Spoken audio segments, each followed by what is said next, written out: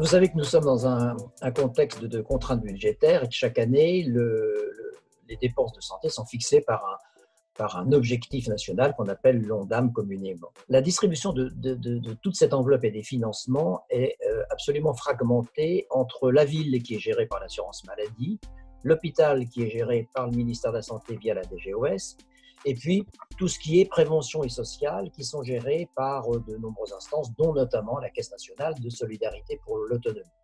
En plus, dans ce système fragmenté, se trouve aiguiser une concurrence entre les différentes structures, qu'elles soient publiques, privées, privées à but non lucratif, mais également d'ailleurs l'hospitalisation à domicile, qui se partagent la totalité de ce qu'on pourrait appeler un marché et qui sont les uns et les autres défendus par leurs fédérations respectives qui, au lieu de rechercher la complémentarité et la synergie, aiguisent en général la concurrence. Si bien que dans ce système-là, tel qu'il est euh, rapidement décrit, l'évaluation ne se fait plus désormais que sur des volumes et que sur des procédures. C'est l'idée de, la tarification à l'activité qui euh, accroît cet esprit de part de marché et de concurrence. Cette T2A pousse à toujours plus d'activités. Et elle pousse à toujours plus d'activités parce que toute augmentation d'activité va générer évidemment des recettes. Et comme l'enveloppe financière est contrainte au préalable, une augmentation de recettes entraîne ipso facto une diminution du financement et donc de l'enveloppe. Si bien qu'on arrive à un système qui devient assez pervers, qui s'est illustré en 2017 par la crise des hôpitaux, puisque le, gouvernement avait anticipé une augmentation d'activité et donc une, avait généré une baisse des tarifs, augmentation qui ne s'est pas produite et donc euh, un déficit qui a explosé au niveau des centres hospitaliers. Donc ceci est, je crois, très important et suppose qu'il faille effectivement modifier ce système pour remplacer le quantitatif par le qualitatif, pour passer en quelque sorte des procédures et des volumes au résultat et introduire ainsi cette culture du résultat sur laquelle nous reviendrons.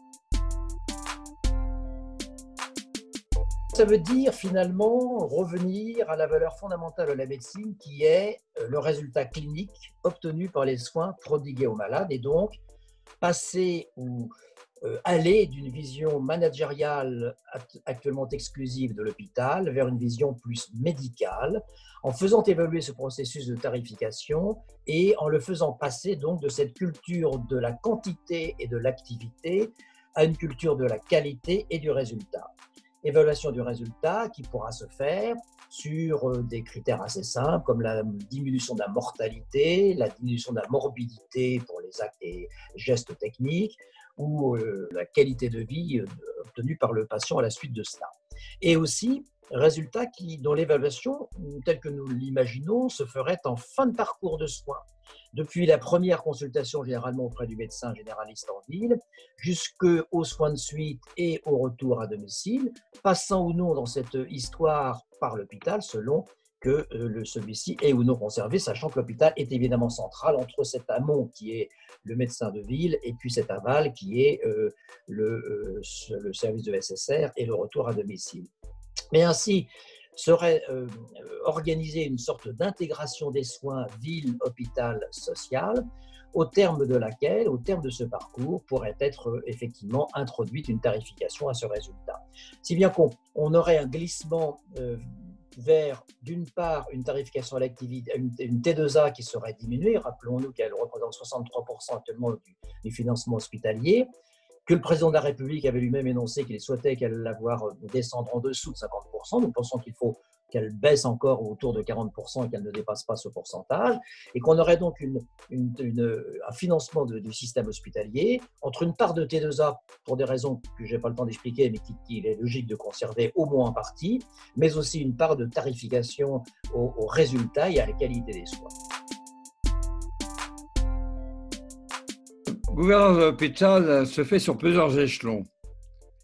Et comme vous savez, la France est hyper centralisée. Et je voudrais parler de ce premier échelon de centralisation. Je pense que la première réforme, c'est de régionaliser les hôpitaux publics, comme ça se fait dans le monde entier, euh, dans tous les pays, non seulement d'Europe, mais d'Asie, d'Amérique, d'Australie. Il est donc absolument nécessaire que les hôpitaux publics et les urgences dépendent de la région, qu'il y ait une véritable autonomie financière et de gestion.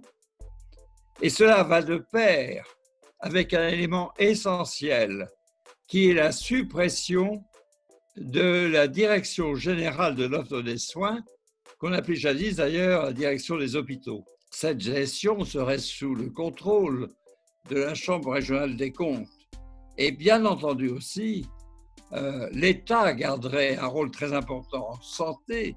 La direction générale de la santé persisterait avec même des pouvoirs renforcés. Et bien sûr, l'État s'occuperait de la sécurité sociale, des médecins généralistes et probablement des médecins spécialistes. Actuellement, nous avons une gestion administrée et non pas une gestion managériale. La preuve en est que tous les directeurs d'hôpitaux sont des juristes, car ils ont appliqué des textes de loi qui font souvent 220 articles. Euh, ils ont appliqué des décrets, ils ont appliqué des circulaires. avec une telle réforme, eh bien, ils n'auraient pu appliquer ce texte. Si on régionalise, on est sûr du succès, puisque c'est le succès qui s'est produit ailleurs. Si elle n'est pas faite, on est sûr de l'échec. Et d'ailleurs, il n'y a qu'à voir le Ségur de la Santé qui a parlé euh, de plus de lits, de plus de personnel et de plus d'argent. Et si on regarde ce qui se passe actuellement dans le monde, le succès de la lutte contre le Covid a été dû en Allemagne à la régionalisation de la santé par les Landaires. C'est là où il y a eu le moins de morts. Il ne fait aucun doute que la gouvernance de l'hôpital s'est totalement transformée depuis une quarantaine d'années, euh, puisque c'est substitué une vision totalement managériale, à dominance économique, réglementaire et budgétaire.